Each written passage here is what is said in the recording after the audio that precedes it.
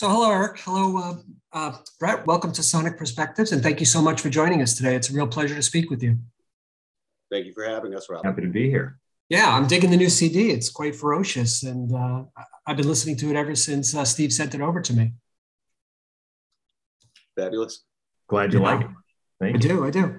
You know, being new to the band and re- band being relatively new, tell me a little about the origins, uh, how you guys got together, met, connected. Uh, two of us, the bass player and I, uh, were in a previous group together for many years. Um, I started working with uh, the drummer, Scott, um, kind of on and off for fun, uh, just getting together and having little impromptu jam sessions. And uh, I think about the time the pandemic hit, uh, it just felt like a good time to make it a real thing and make it official. We, we would get together and it was always just prolific. There were a lot of song ideas and a lot of good shells of tracks coming together. And uh, so that's what we did. Um, and then uh, about midway through uh, the making of Near Life Experience, uh, enter Eric Fairchild. Yeah, I'd been friends with Brett for a long time, many years. Our bands had always sort of intersected with various producers and actually the guy that produced Near Life Experience, Jeremy. I was in a band with him for many years, and so uh, Brett and I's paths had often crossed, and and we were buds, and we ran into each other one day at a restaurant. We were both picking up food, and he said, "Hey, what are you up to? Are you playing with anybody?" I said, "I'm not," and here I am. no, you guys do it. You guys are a really tremendous uh, asset on guitar. You have some great chemistry together. How did you know it was going to work out when you got together? Well, I knew Brett could tear it up. I mean, it's sort of it's known. It's known around the area that Brett knows how to play some guitar. So I don't know how Brett knew about me, but um, well, I think there's like um, you know, there's a cool thing I noticed uh, between us. I've never really told you. We we kind of tend to agree on what we think the the uh, final solution of cool is on whatever it is we do. Um, and uh, we have we have similar tastes in guitars, similar tastes in guitar sounds. Uh, you know, maybe different influences and such growing up, but I mean, um, we seem to like a lot of the same stuff. So I think it just kind of works. I, I thought that I thought your tones were blended really, really well. That was the first thing I noticed on the first song, and that's it's my favorite song. But I thought you guys had a tremendous uh, tone quality together. Uh, that worked well. Congratulations on that. Sometimes that always doesn't come out.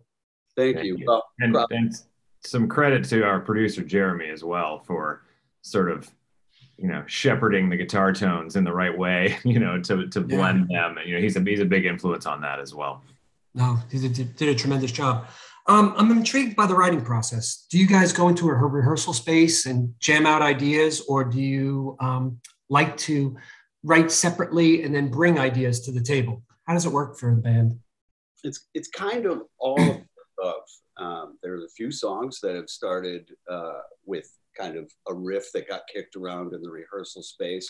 Um, a lot of songs when when this was happening, you know, we were kind of in the midst of the whole lockdown. I was just demoing songs at home, and then when Eric joined, kind of midway through, we found this great chemistry starting to develop between he and I. And as of late, we've been kind of the two of us have been writing together, or maybe uh, there's an example um, on the album. Uh, Witchcraft Singalong is a track, uh, kind of a ripping, uh, kicking number. And uh, there, there's an example of a song uh, where I wrote the music and Eric wrote the lyrics and the melody.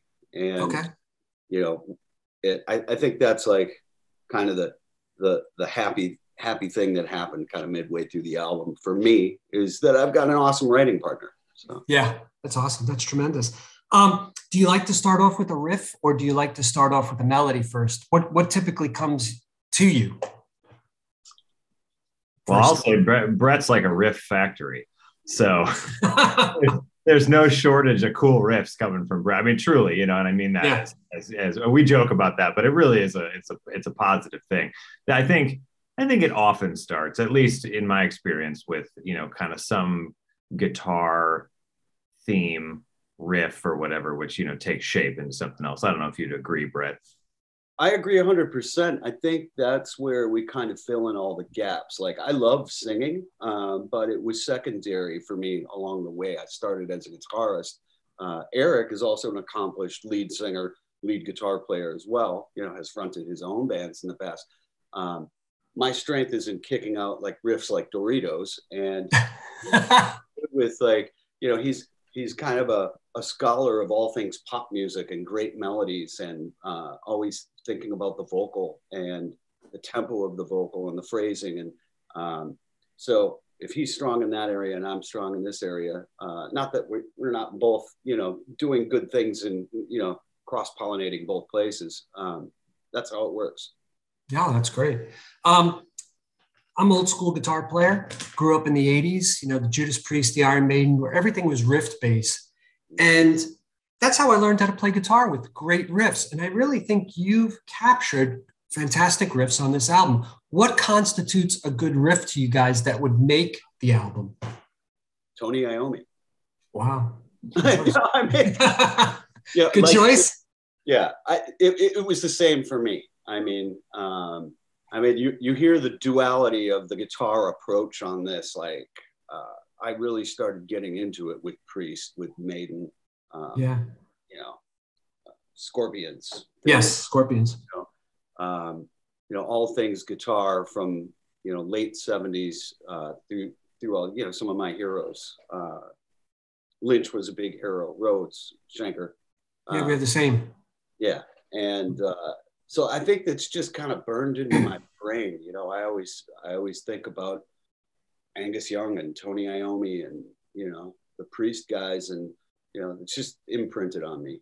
Um, so I have an interesting perspective in that you know FuZZrd existed before I joined, so I had heard the band completely removed. You know, there there'd been a couple singles released before I even joined, and I remember saying to Jeremy, who is our producer, but also just a great friend of mine, I said, "What's you know what's up with what's going on with FuZZrd? Like that's a cool thing."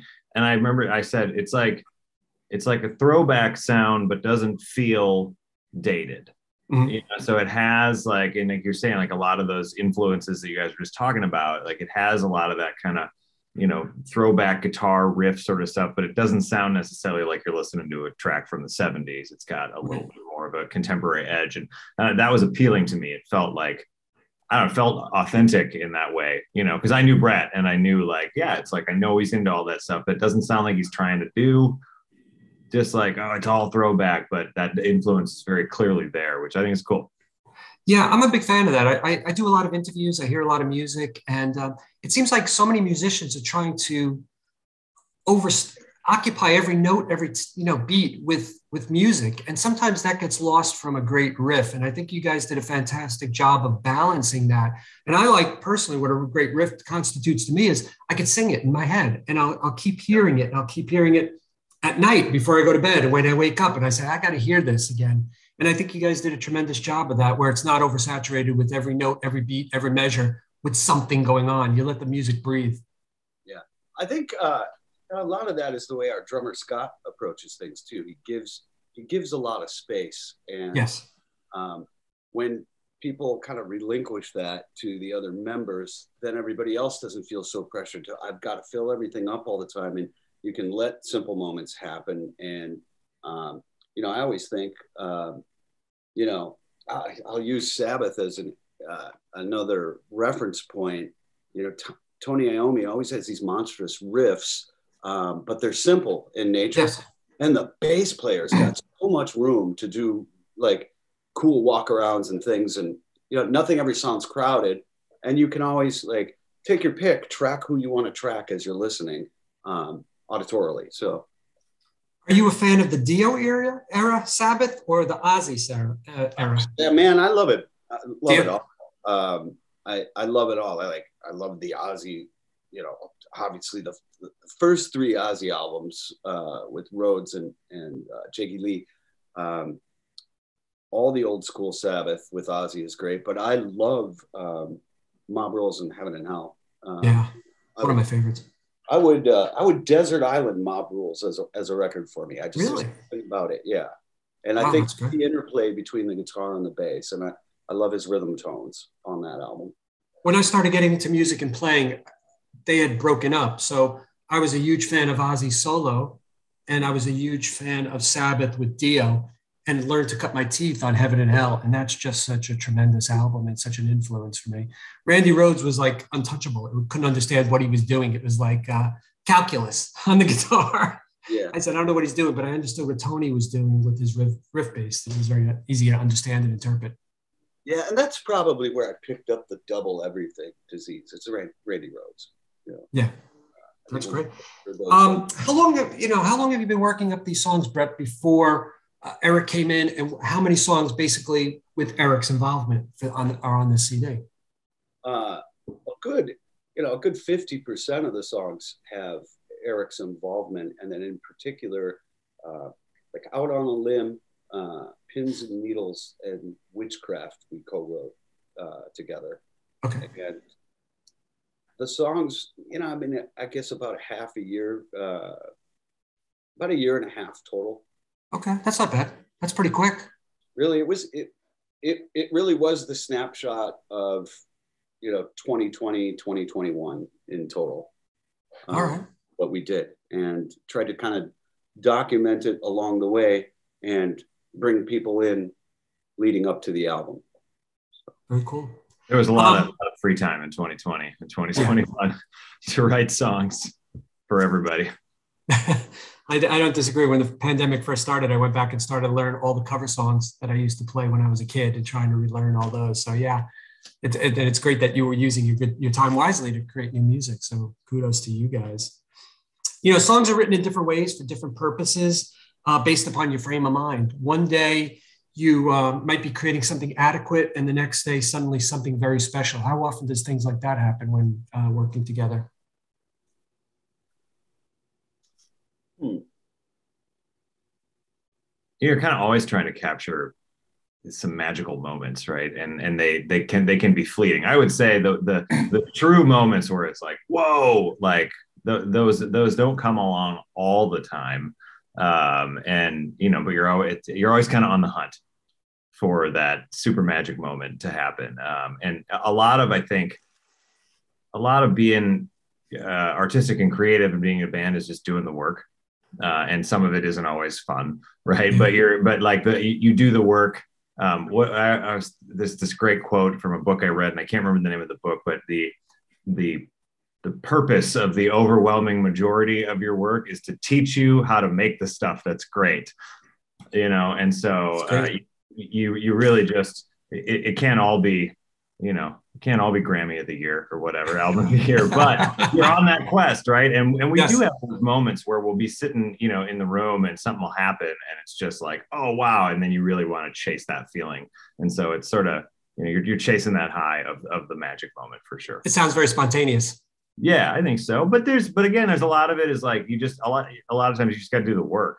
Which right. you know, all right, we got to finish this. You know, we, we got three hours. Let's finish this song, and then you know, you you do the work, and, and magic happens along the way. How about you, Brett? When you're popping these riffs out like nachos, like Doritos? I don't know. I mean, the riffs are just always on. I guess um, you know, and sometimes I, I just get lucky and stumble across some some good ones. And um, I like Eric says, you sometimes you're pleasantly surprised. Like you, you just can't nurture your own self doubt. You have to put something down because you never know. Um, mm-hmm. You know, you might second guess yourself. You shouldn't. I, I, mean, for me, I, I think that's the thing. And then, you know, with the lyric writing, um, you know, I think once in a great while, you do have a story uh, that's maybe autobiographical that just comes out.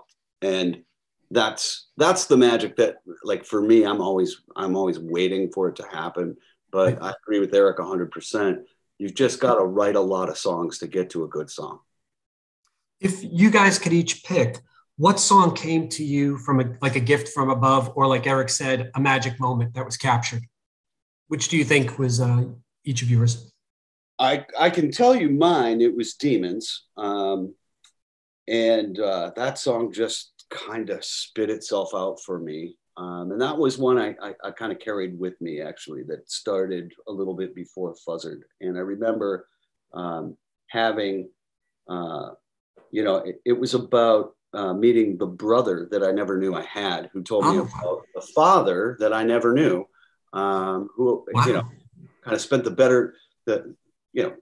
30 years of my life not really having the answers to these things and through the magic of the internet um, i figured it all out in 45 minutes. Um, it gave me a song. Uh, it was amazing. Um, you know i wish i could find a way to harness that. Uh, i don't know how. Um, but it came out and i remember calling jeremy going dude i got i got this song. Like we got to just go record it. And uh, it felt great. And um, actually the vocal that we laid down um, kind of raw and on the spot like right when the song was written um, i remember we we did a bunch of passes and he just kept them and that's the original vocal that's on um, on the record we, i just decided like there's there's no point in trying to redo that because it felt a certain way um, so that was my tune you know That's an incredible story. That's just an incredible story. How about how about you, Eric? What was yours uh, magic moment? Your gift I from think- above? One of the things that um, one of the first songs that I worked closely with Brett on was Pins and Needles, and there was a moment where um, it it didn't Pins and Needles didn't really have it was just kind of music at the point when I came in. There wasn't a lot of uh, lyric or melody ideas. There's you know Brett had some sketched out stuff, but we were sitting together and we and we we hit on uh, the the pre-chorus melody uh, where you know where it really for me was a, a little bit of a magic moment about like oh like we're gonna gel great.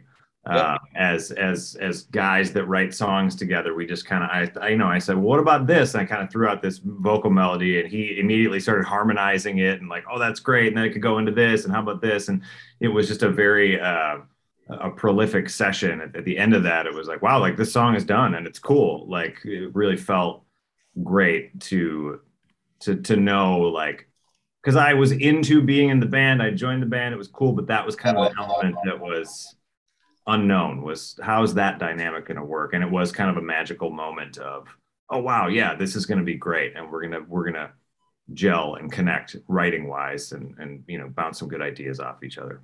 yeah this Awesome, was, tremendous. It was great And Brett is actually the father that I didn't know. I just felt like I had to live up to that story. Mine's not as good, you know. Yeah. Uh, it was that was that was a it was still a great great uh, insight. I appreciate you sharing that. I think it's tremendous. Uh, yeah, Brett's story is crazy. That's a that's an incredible yeah, very story. cool. It's a cool story for sure.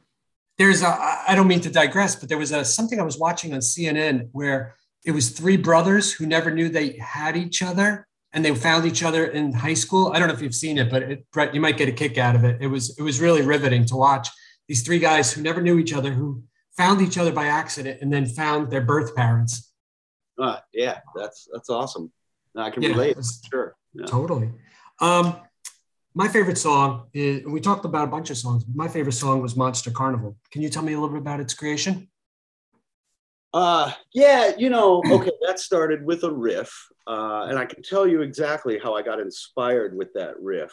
Um, in rehearsals, while we were kind of doing the band thing and kind of, you know, getting the sketchbook together for the album, so to speak, uh, I was running a single, single 100 watt head and a 412 cabinet, you know, whichever one I felt like using at the time. And uh, I was like, you know, I'm going to go back to my live rig and uh, go back to a dual mono setup with, you know, 200 watt heads, two cabs, you know, get the stereo imaging going. And I went down to the rehearsal space one night and uh, I set up, uh, I had this bog, uh, oh, Eric's using it now. It's a Bogner modded Marshall uh, JCM 800, uh, Mm. aka the snorkeler uh, from the first Alice in Chains record, that mod. Uh, just set up, had this crushing tone and just like that riff came out. Um, and that's what kind of kicked it off for me. So, um, you know, I guess that doesn't really touch on the lyrics, but that was the spark of the song. That's great. That's great insight. Um, I have my last question for you guys, uh, and to both of you. What is being a relatively new band? What does success look like for you guys? I'll take that. Um, it feels like right now for Yeah. me.